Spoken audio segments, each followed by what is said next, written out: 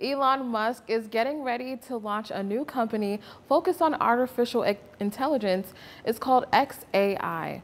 The company's website states the goal is to understand the true nature of the universe. There isn't much information on there except the profiles of 12 staffers. In an interview in April, Musk warned that artificial intelligence could lead to, quote, civilization destruction and he joined other tech leaders in calling for a six month pause in the race for AI development. Chipotle is getting a taste of the AI world. The food chain is testing a robot to help make guacamole. It's called Autocado.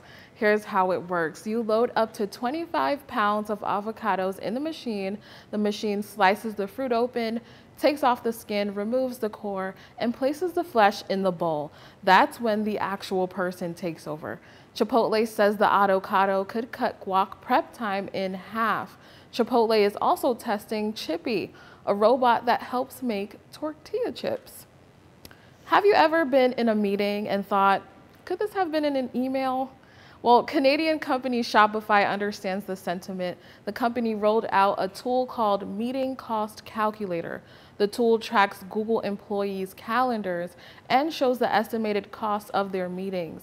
They found a half hour meeting with three employees can cost the e-commerce company anywhere from 700 to $1,600.